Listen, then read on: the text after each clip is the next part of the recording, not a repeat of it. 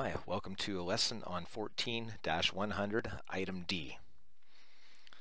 I'm going to start with reading the code out of the code book. So it says, where the tap conductor forms part of the only circuit supplied from a power or distribution transformer rated over 750 volts with primary protection in accordance to rules 26-250. So what I have written here is uh, just the basics of that.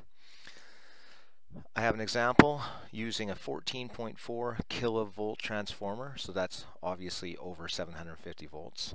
The primary protection is not drawn in here, but assume that's the case, and assume all the provisions from 26-250 are met. Let's move on to item 2. Term terminates in a single overcurrent device. So down here, I have uh, a single overcurrent device. It looks like I have two, but it's actually a double pole breaker because this is 240 volts.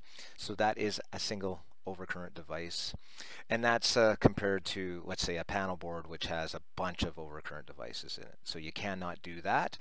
For this rule, it has to be just one overcurrent device. And carrying on with that rule, it says that overcurrent shall not exceed the ampacity of the conductors in the circuit. What they're really saying there is this overcurrent device cannot exceed the tap. The tap must be bigger or equal to this overcurrent device. In the, in the case here, I, am drawing a breaker. And then item three says mechanically protected. So we're going to assume that all this is in, you know, EMT or um, some rigid steel. Okay, let's uh, let's start with a calculation. I have one started here. It's 200 amps, a non-continuous load. So we're going to size this wire here. So this is step one. And step one, basically, table two says this wire is going to be, let's look up at table two, a 3-aught. 3-aught, which is good for 200 amps. I forgot to mention that all the equipment here is 75 degree rated. Now, step two, we size our overcurrent device. So table 13 says, and that's supposed to say table 13. That says, oh, we're going to use a 200 amp breaker. And then we size the tap. And the tap has to be equal or greater. Well, that'll be easy. This will also be 3 aught, which is good for 200 amps.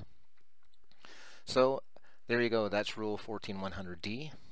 Let's just try one more example here. I'm going to erase this.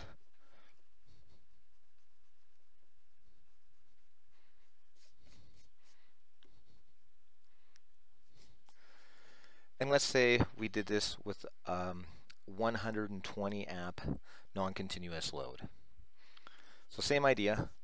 Step one, we're looking at table two, go to table 2 and we see a number 1 AWG conductor is good for 130 amps. Again, we're in the 75 degree rated column. Step 2, we go to table 13, we size a breaker off this 130 amps, and we put in a 150 amp breaker based upon this wire. Now, this is where item 2 comes in. This tap cannot be smaller than this overcurrent device, so we cannot put in a number one here, even though it kind of looks like common sense tells us we can. No, this tap has to be equal or less than the uh, overcurrent device, so then we're looking at a tap that has to be 150 amp rated, which will bring us then to the last example, which is going to be a 1 aught, good for 150 amps. Whoops, amps.